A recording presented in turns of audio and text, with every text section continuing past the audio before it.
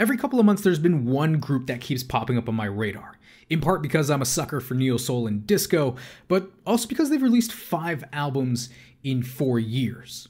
In fact, one of them was only available for 99 days, like it's it's gone. So, I mean, uh, you could pirate it, I guess. But they're also somewhat shrouded in mystery. Even with their widespread acclaim among critics, music listeners, and other artists, this British collective continues to hide itself from the public eye. In an era where anonymity doesn't really exist, SAULT are an act that are significantly different from a lot of what else is out there.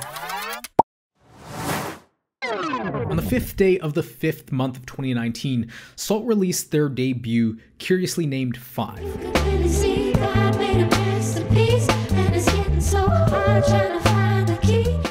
Four months later, they'd release Seven on the 27th of September.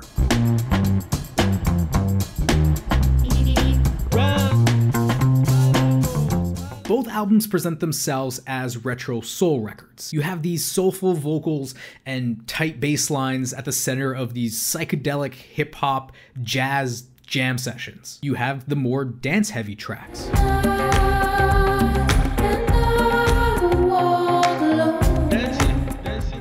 And disco inspired cuts.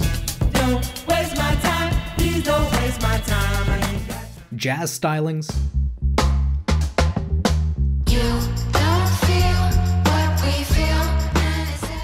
R&B and neo soul. Why, why, why,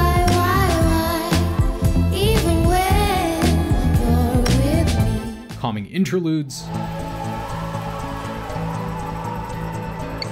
And those are just the first five tracks off of their debut. SAULT's full lineup remains a bit of an unconfirmed mystery, but we do know who sits at the helm of the project thanks to the label on the back of each record Dean Josiah Cover, otherwise known as Inflo. The London born producer has been called a young Quincy Jones, and has production credits on some incredible records from the last few years, including the entirety of Michael Kiwanuka's Gorgeous Kiwanuka.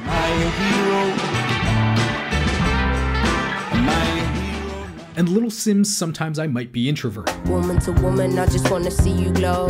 Tell them what's up.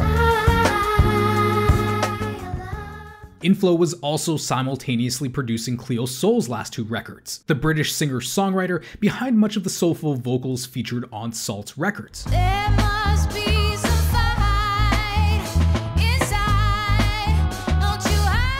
while Chicago rapper Kid Sister fills in on the more hip hop inspired tracks.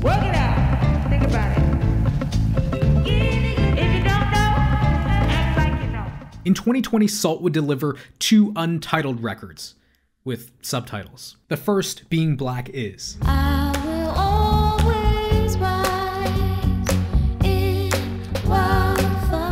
Released in the wake of George Floyd's murder and the renewed BLM movement, the album came along with a mission statement.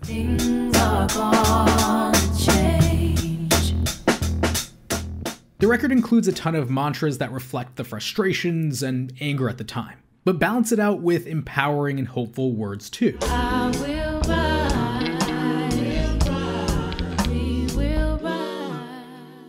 Shortly after, Rise would follow, with more themes of black rage and black pride.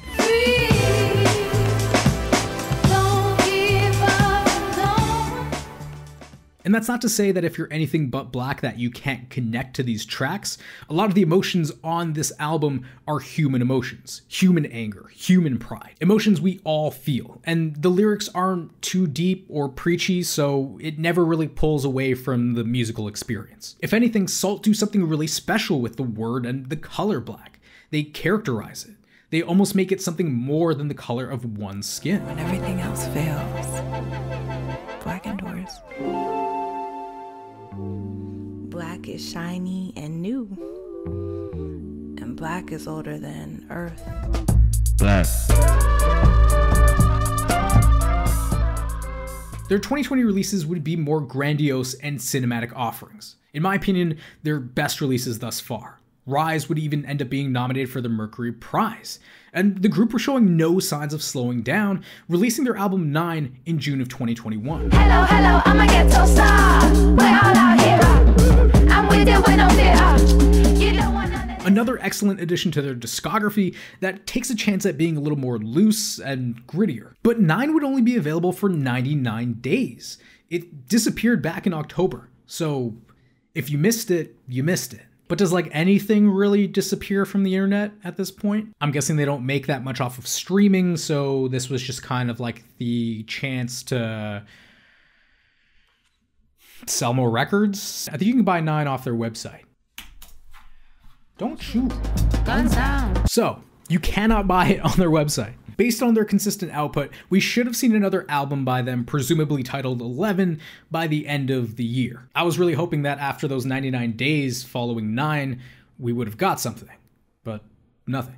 But I've got a prediction. The band love releasing their numbered albums on dates that coincide with the number on the album. Five had fives in it, seven had sevens in it. The untitled records, they don't really work. And nine wasn't on a nine date. Okay, so hear me out. Albums typically release on a Friday. And if SAULT does end up calling their next album 11 and they want to release it on a day that corresponds with that number, the next Friday, the 11th of 2022, happens to be November, the 11th month. Of, so I say SAULT's album 11, if it's called 11, will release on Friday, November 11th, 2022. And if it doesn't, that's just a missed opportunity. It's not too common for artists to shroud their identities from the public, especially in today's digital social media era where personalities are everything. To me, this is almost like SAULT saying that they want to be left alone and have the music speak for itself, that it's all about the music. And that's what makes SAULT significantly different. But don't take my word for it. Like, subscribe, and buy me a coffee if you please. Um, and then, of course, at the bottom here, you have that it's by Inflo, produced by Inflo. Ooh, interesting. So we have a bit of a, a spread here, you can see.